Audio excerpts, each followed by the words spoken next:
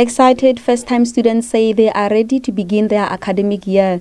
They say even though they don't know what lies ahead, they remain hopeful that it will be a year full of learning and growth.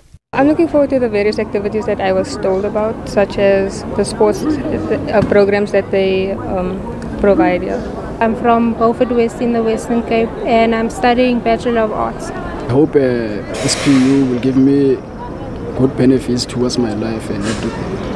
The Student Representative Council says some first year students are still without accommodation and financial assistance to pursue their studies, but it is working with the university to resolve these issues. Uh, the challenges that we're experiencing currently is that accommodation. Uh, students have been coming without applying for accommodation, but the university is working together with us to make sure that all students, the first years to be precise, they are accommodated within the institution. Now, the other challenges is that uh, NSFAS, that students who are coming, they didn't apply for NSFAS. Now, the university is trying by all means together with the SRC. The SRC make a pledge to donate something from their budget to make sure that they identify a house so that they can uh, cater for those students to be accommodated.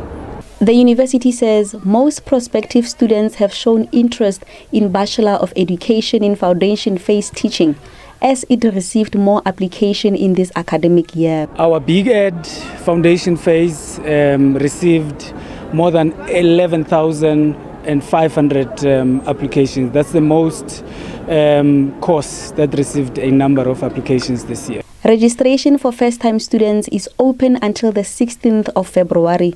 Tebogo Msimanga, SABC News, Kimberley.